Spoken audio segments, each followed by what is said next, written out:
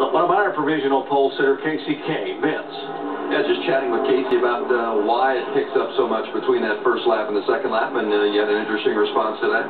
Yeah, I think it's just tire pressure probably and, and how much each car has. Everybody's different on the tire pressure, so if it comes in quicker, the first lap compared to the second, you'll be maybe a tenth off or something. But usually the second lap here is quicker for us, and we're about three tenths there. So it was, uh, that was a good lap for Budweiser Dodge. I had Sun in three and four, and I'm pretty sure there's going to be a lot of guys that don't as, as this qualifying session goes. So hopefully they don't beat us, but uh, I think they might. Is this one of those places where you recognize as a driver when you're rolling out for your qualifying whether the sun is shining or, or whether you've got cloud cover?